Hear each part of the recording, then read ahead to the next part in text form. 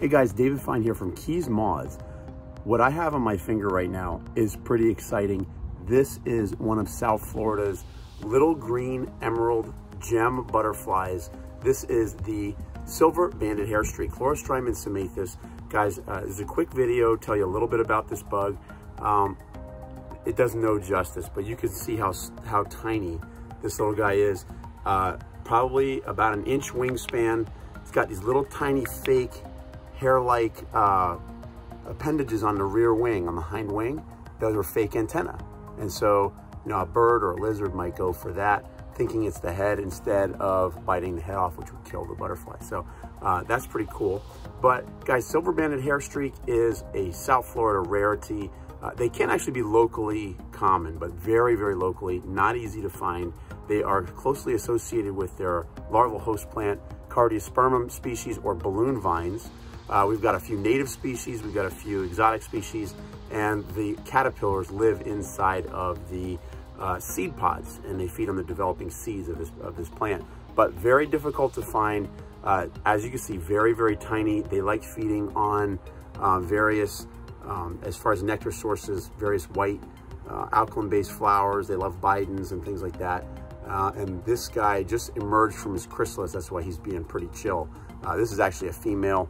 Uh, sexes are dimorphic. Uh, males have like a really cool steel blue inside and females have like a little bit more of a grayish, duller grayish blue inside, but equally pretty. But this colors, guys, I'll show you a couple pictures here in a minute uh, of this butterfly. It's a completely beautiful bug. Only lives in, I believe, Dade and Broward, Dade and Monroe counties. So Miami-Dade and the Florida Keys, only place where this bug lives.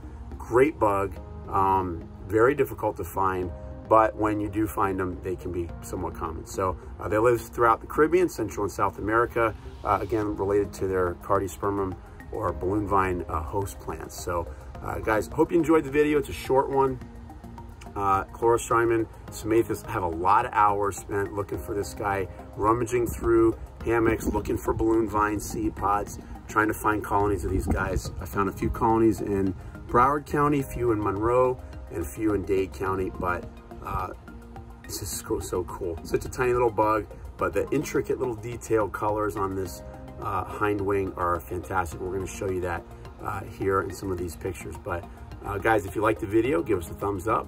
Don't forget to subscribe to the channel and um, share it with your friends. If, if you like little emeralds, ladies, you like emeralds, guys, this is an emerald butterfly, one that flies around. I uh, hope you enjoy it.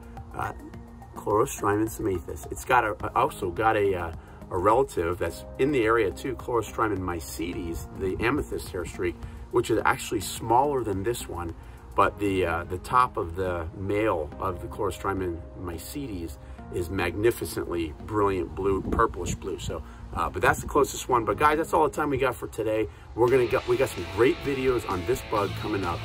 Fantastic videos. Check them out. They're coming soon. Um, don't forget to subscribe because if you subscribe, hit the little bell, you'll get notified when we put these videos out.